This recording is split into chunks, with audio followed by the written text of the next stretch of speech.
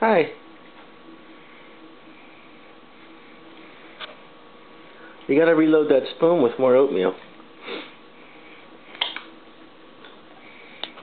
Here, look. Can I have it? Here you go.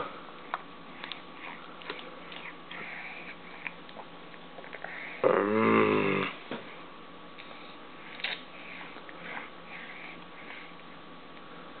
Now you got scoop, scoop.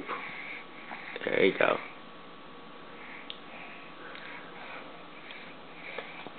Or just chewing the spoons, you know, whatever you want. It's your show.